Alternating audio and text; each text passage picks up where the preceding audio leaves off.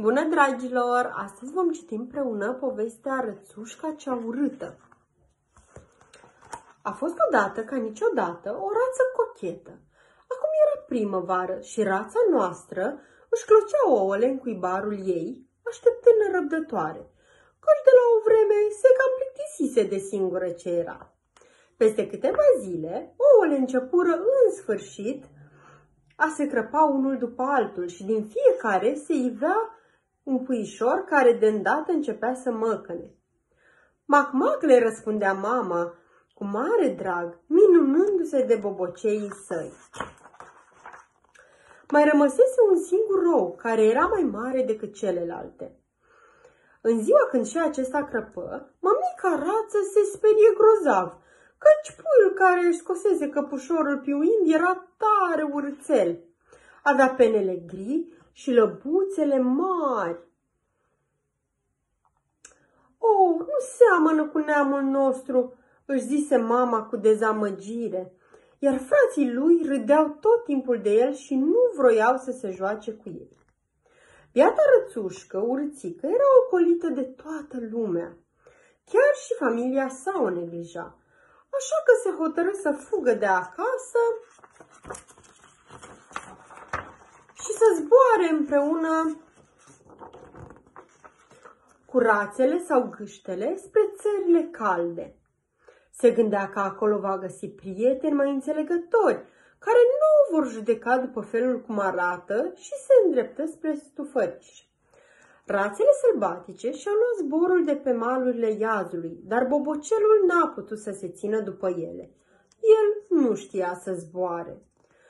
Rămase singur și se întreba încotro să o apuce. Două zile au trecut de când poposise la iaz, când se pomeni față în față cu doi gânsași tinerei și îngânfați. Auzi, prietene, îi zise unul rățuștei, ești așa de urât, N-ai vrea să ne urmezi, să fii ca noi, pasăre migratoare? Dar nici cu ei nu putu să plece, pentru că și-au luat deodată zborul speriați de un vânător. Așa că, înspăimântat și tare amărât, porni la drum peste miriști și ajunse la o casă veche. Acolo trăia o bătrânică de treabă, care avea un motan răsfățat și rău și o găină încrezută, dar care făcea o bune, iar femeia îl iubea de parcă ar fi fost copiii ei. Ascultă la mine, îi zise găina rățuștei. Mai bine îi da niște ouă sau măcar învață să torci. Motanul nu ar fi vrut să-i îngăduie rățuștei să rămână în casa unde el se dădea stăpân și îl alungă pe lacul din apropiere, unde venea deseori împreună cu găina ca să râde de ea. Dar rățușca nu se lăsă bătută și reuși să devină prietenă cu găina cea mai încrezută și chiar cu motanul cel rău, care o priveau cum se cufundă jucăușă în apă. Dar ea tot tristă era, că alți tovarăși de joacă nu și-a găsit. Când veni iarna însă, rățușca rămase singură pe lac, doar cuvântul cel neprietenos și rece. Pentru biata rățușcă era o priveliște tare mohorâtă. Își căuta un adăpost unde nu avea decât să spere la primăvara caldă. Ostenită, rămase prinsă în apa înghețată și nu mai putu face vreo mișcare.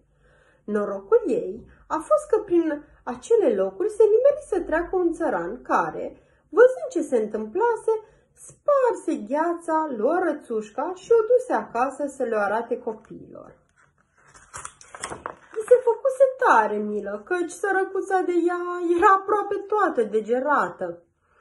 Ajuns acasă, țăranul o dădu în grija nevestei, care o adăposti în bucătărie. Sărmana vietate își reveni la căldura din casă. Atunci, copiii vrură îndată să se joace cu ea, dar ea, crezând că vor să o chinuiască, sări de frică drept în oala cu lapte, împroșcând cu lapte în toate părțile. Femeia se luă cu mâinile de cap, bătut din palme ca să o potolească, dar rățușca se sperie și mai mult. Zbură în putinel cu unt, apoi într-o bute cu făină și de acolo tot în zbor prin odaie. o îndrăgiră cu toții atât de mult încât ea rămase la ei peste iarnă. Când veni primăvara, își luă zborul către lac și notă spre niște păsări minunate. Erau niște lebede care au început să o mângâie cu ciocurile lor în semn de bun venit. Iar atunci, mare-i fu mirarea să vadă pe luciul apei că ea, rățușca cea urâtă, care fusese atâta vreme prigonită, se transformase într-o lebădă frumoasă și grațioasă.